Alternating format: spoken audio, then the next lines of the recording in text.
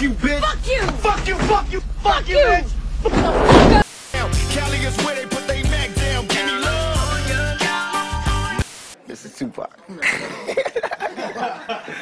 Pod innymi filmami pisaliście, że chcecie zobaczyć Tupaka. Mam nadzieję, że wam się spodoba. Napiszcie w komentarzach, kogo mam zrobić następnego. Zanim Tupak został zastrzelony, zanim zaprzyjaźnił się z Mike'iem Tysonem, zanim spotykał się z Madonną.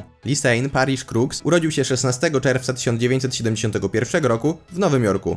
Jego rodzice byli członkami partii politycznej walczącej o prawa czarnych w USA. Miesiąc przed jego narodzinami, jego matka została uniewinniona z ponad 150 zarzutów o spiskowanie przeciwko rządowi Stanów Zjednoczonych, a z ojcem nie miał kontaktu przez większość swojego życia. W 1972 roku jego imię zostało zmienione na Tupac Amaru Shakur, po indiańskim przywódcy powstania przeciwko Hiszpanom. Od dziecka Tupac wychowywał się wśród ludzi powiązanych z Black Liberation Army. Była to podziemna nacjonalistyczna organizacja bojowa. Jego ojciec chrzestny był skazany za zabicie nauczyciela, a jego ojczym był poszukiwany przez FBI za pomoc w ucieczce z więzienia swojej siostrze, która była tam za zabicie policjanta. Miał również półsiostrę i przyszywanego brata. Matka zapisała go do teatru i już w wieku 12 lat zadebiutował na scenie. Trzy lata później wraz z rodziną przeprowadzili się do Baltimore, udał się tam do liceum artystycznego, gdzie uczył się aktorstwa, poezji, jazzu i baletu. Mniej więcej w tym czasie związał się z komunistycznym związkiem młodzieży i zaczął spotykać się z córką dyrektora lokalnej partii komunistycznej.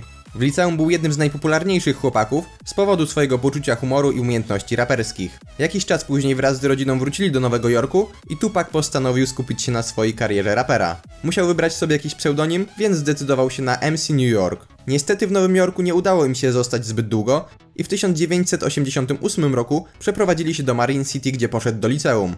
Tupac występował tam w szkolnym teatrze i zaczął chodzić na lekcje poezji. W tym samym roku jego ojczym został skazany na 60 lat więzienia za udział w napadzie. Jego matka nie potrafiła sobie z tym poradzić i popadła w uzależnienie od kraku. Tupac postanowił wyprowadzić się od matki i zamieszkał z przyjaciółmi. W 1990 roku jego bliska przyjaciółka poznała go z zespołem Digital Underground i wkrótce Tupac dołączył do grupy. Po roku postanowił jednak rozpocząć karierę solową, odtąd zaczął używać pseudonimu Tupac i wydał album zatytułowany Tupacalypse Now oraz wystąpił w filmie Miasto Aniołów 2. W październiku 1991 roku Tupac pozwał Departament Policji w Oakland na 10 milionów dolarów za to, że policjanci pobili go za przejście przez ulicę w niedozwolonym miejscu. Dostał 42 tysiące dolarów, z czego większość musiał zapłacić swojemu prawnikowi. Na początku 1993 roku ukazał się jego drugi album, Strictly for My Niggas, który uzyskał status platynowej płyty, a sam Tupac otrzymał nominację do nagrody Grammy. Zagrał również w filmie Poetic Justice, film o miłości. A co do reszty historii, znacie resztę, bo to jest za nim byli sławni.